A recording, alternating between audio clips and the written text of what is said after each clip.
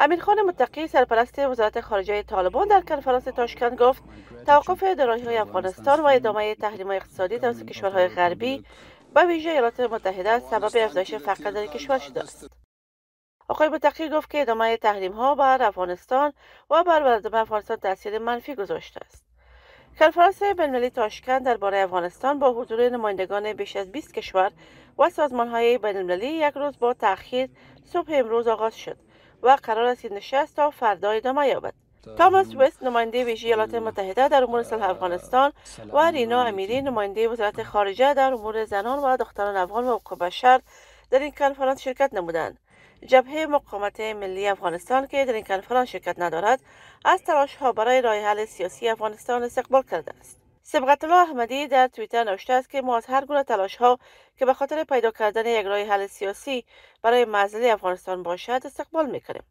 از سوی دیگر تاماس نیکلاس نماینده ویژه اتحادیه اروپا برای افغانستان می‌گوید که برگزاری نشست تاشکند اتحاد بینالمللی را در پیوند به انتظارات جامعه جهانی از حکومت طالبان نشان می‌دهد. آقای نیکلاسن که خود نیز در این نشست اشتراک کرده است در توییتر نوشته است که او از این نشست که روی ایجاد یک حکومت همه شمول در افغانستان که از اقوام های سیاسی مختلف نمایندگی کند تاکید می کند سرپرست وزارت خارجه حکومت طالبان در حاشیه شرکت در این کنفرانس از سفارت افغانستان دیدن نمود و از کارکرد آن سفارت در تاشکند و ادامه فعالیت آن اظهار رضایتی نمود. سفیر افغانستان در ازبکستان و امیرخان متقی در مورد فعالیت سفارت افغانستان گفت برای یک مامور وزارت خارجه برای کسایی که در بیرون وظیفه اجرا می‌کنن به حیث دیپلمات بدون موجودیت دولت بودن سفارت در کشور اصلا معنای نداره در روز نخسته کنفرانس تاشکند امیرخان متقی روی آمادگی طالبان. برای تعامل با کشورها تاکید نمود و بار دیگر از ایالات متحده خواست تا سرمایه منجمد شده این کشور آزاد سازد.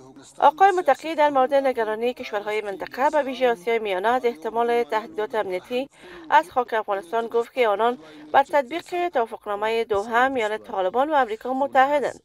و بار دیگر به کشورهای همسایه و جهان اطمینان داد که از خاک افغانستان تهدیدی متوجه امنیت هیچ کشوری نخواهد شد.